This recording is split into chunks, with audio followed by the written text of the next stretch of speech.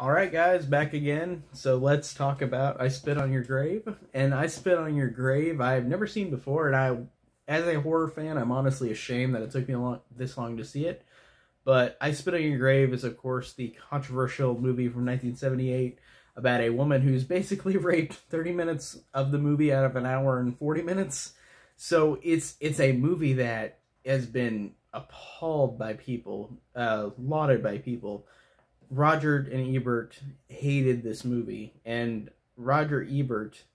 Um, did I say Rod, Roger and Ebert? I mean, I didn't mean that. I meant Roger Ebert.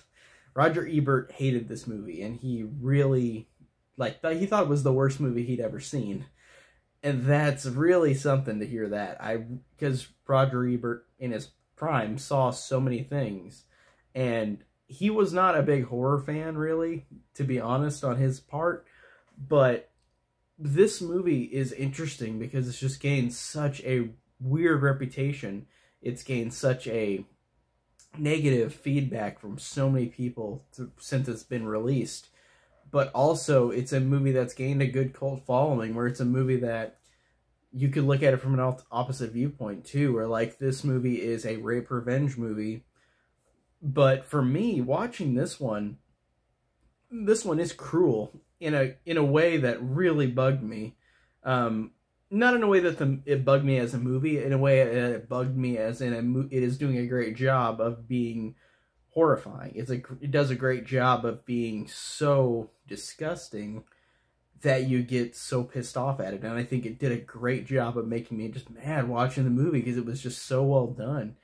Um, like I said, because 30 minutes of this movie is about is the girl getting raped, gang raped by these guys.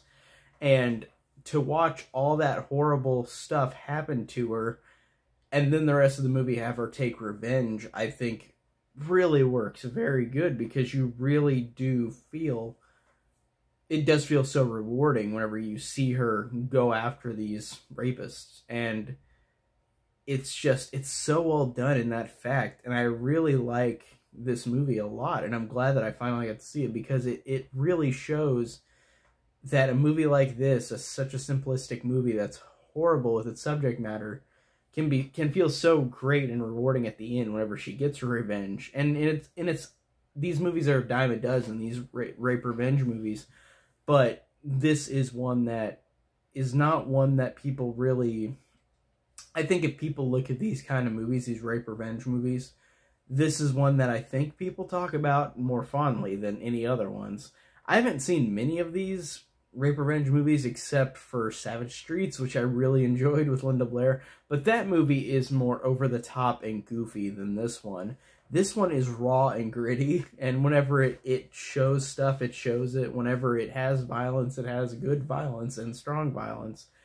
And the acting is really good. Like, I, I really liked, I forgot what her name is, Camille something, the main girl. She is so good in this movie, and and to see to see what goes with this character throughout the movie, it feels like it's really happening. And that's weird to say, but it feels like because her performance is so good, it feels like it's happening like really. Like it's like you're watching a snuff film. It's like you're watching the Texas Chainsaw Massacre, the original, which I still feel is the scariest movie ever made.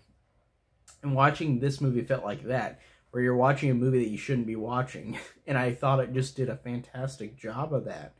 And just a good use of everything horror in this movie. I think it's I think it's a great horror movie. I think it's a great revenge movie.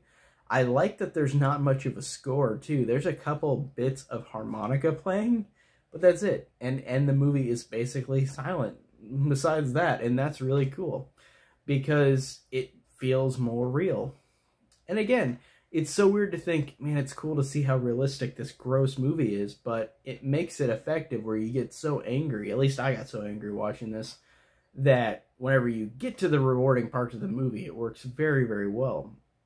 And I just really, really enjoyed everything about this one. I'm so glad I finally got to see it. And I will, after this, be watching all the sequels and the remakes. So they made a remake in 2010 I think, and then they made two sequels, and then they made I Spit on Your Grave Deja Vu, which is a sequel to this one, 40 years later, and it has a 2.6 on IMDb, which is it's got to be something special bad to be a 2.6 out of 10 on IMDb. So I really am curious about the the sequel to this one. Not as much the remake and the sequels, but I'm gonna watch those next because I bought the set with the the remake and the two sequels. So as of now, this this one I think is great. I really really really loved it. I loved how cruel it was, but I loved how rewarding it was. And it just did a really good job of being a very very well acted movie. And it's really really hard to watch, but in a way where you praise it. You praise how this is just a movie. It's not real. And I, I love that. I think that's awesome. And I really, really love this movie. So like I said, reviews will be coming up for the sequels as well and the remakes. But as of now, first one I watched, really freaking awesome. So that's it on my review. Tell me down below what you guys think of the original I Spit on Your Grave. And thank you guys for watching.